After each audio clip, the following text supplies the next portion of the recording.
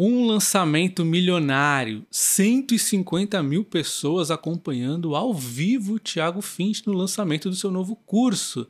Seria mais um golpe? 2023, nós tivemos aqui golpe atrás de golpe. Aliás, isso sempre foi assim, 2022, 2021, cada vez é um golpe diferente. É criptomoedas, é shitcoin, é cursos mirabolantes, são pirâmides atrás de pirâmides, sempre a promessa do dinheiro fácil, sempre a promessa do enriquecimento, a ganância fazendo as pessoas perder dinheiro. Mas será que o Thiago Finch também está aplicando um golpe nesse curso? Diferentemente de todo mundo que começa a vender o que sabe, eu, ao contrário disso, fiquei quieto na minha por muito tempo, até o dia de hoje.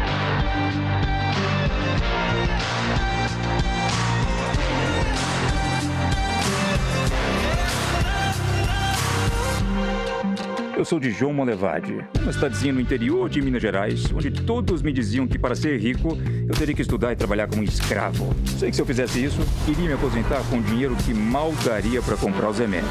Querendo provar que todos estavam errados, comecei a compartilhar o que eu fazia para mostrar que era possível sim ter sucesso fora do caminho tradicional. E hoje, Olha só, as mesmas pessoas que riam da minha ambição me enviam mensagens como essas. Além disso, jovens de todo o Brasil começaram a me enviar mensagens de agradecimento. Hoje, somos mais de 2 milhões de inconformados com o caminho tradicional. Na real, eu tenho certeza que tem gente aí do seu lado te dizendo que esse negócio de internet é besteira. É para você tomar vergonha na cara, seguir a manada, passando cinco anos numa faculdade para conseguir um emprego. Eu tô aqui para te ajudar a calar a boca de todas essas pessoas. Primeiro ponto que a gente tem que dizer é que o Thiago Fincher não teve uma origem rica, milionária, ele não, não foi assim que ele enriqueceu, ele realmente enriqueceu com o marketing digital, ele foca muito no PLR, então ele criou um método para si e aí enriqueceu e somente depois de começar já a estar rico, né, ele vai e faz o lançamento primeiro aí que ele fez em 2021, foi um sucesso. E aí fica esses dois anos sem vender curso, já muito rico, né? Extremamente rico. E agora ele faz esse lançamento milionário e ele utiliza muito bem esse período que ele ficou fora. Ele traz esse momento de escassez, né? esse momento de que, puxa, eu estou vendendo esse curso agora, mas eu poderia nem estar vendendo, né? Estou muito bem sem ele, sem a venda de cursos, estou rico aqui. Então ele causa essa sensação de que talvez esteja é, a última oportunidade para você aparecendo, né? Mas isso não faz dele um golpista. E ao longo do vídeo a gente vê que o Thiago Finch ele é um gênio das vendas. Ele mostra claramente a riqueza, né, as mulheres, a liberdade não só financeira, a liberdade geográfica, né, e tudo isso sem ter que fazer uma faculdade. Tudo isso ele mostra no vídeo, mas faz questão de mostrar que ele teve que se empenhar muito para isso. E todo esse empenho ele parece que nos traz aqui ó, de mão beijada no curso. Então, fazendo o curso, você sim vai ter que se dedicar a essa mensagem que fica, mas menos que ele, porque ele está te trazendo aqui ó, o caminho de mão beijada. O Google tem uma ferramenta que rastreia a quantidade de pesquisas que as pessoas fazem. Nos últimos cinco anos, olha só o desempenho de curso de marketing digital simplesmente já era grande e foi crescendo cada vez mais, né?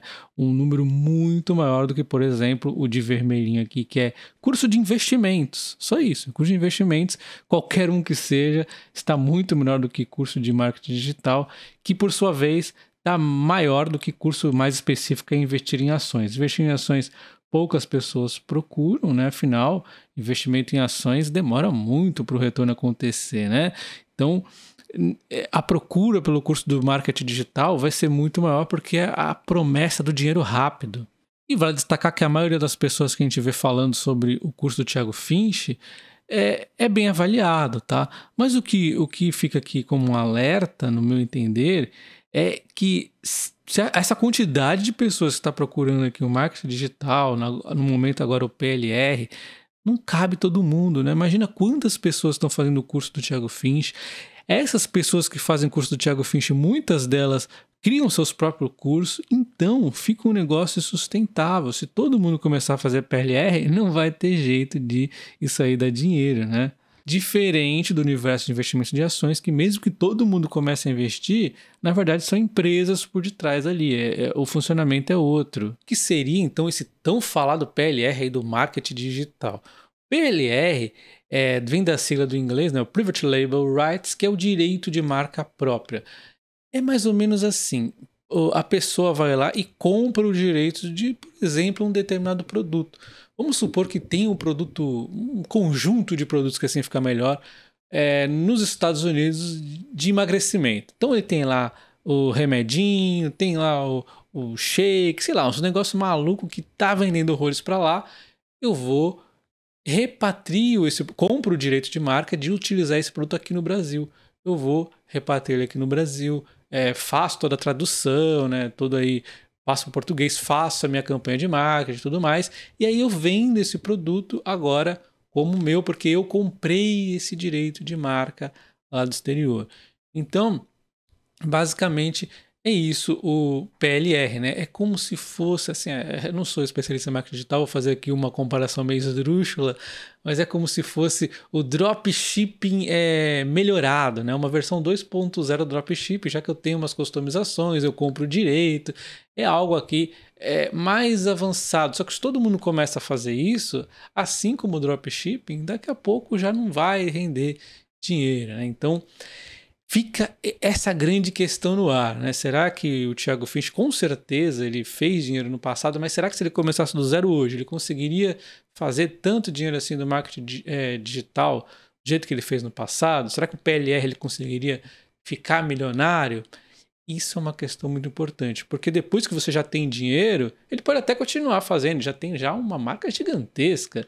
Além do mais, ele vende cursos, e esses cursos devem dar uma porrada de dinheiro. Então, as fontes de receita deles é muito diversificada. Então fica essa, essa questão aqui. Não tenho nenhuma dúvida que é, ele é um, é um dos caras bons aqui do marketing digital, pelo que a gente está vendo o pessoal falar não tenho dúvidas, não é golpista, no meu entender, ele é um gênio da comunicação, um gênio das vendas e provavelmente um cara que fez um curso interessante. Agora, se é possível ficar rico, aí é o grande X da questão.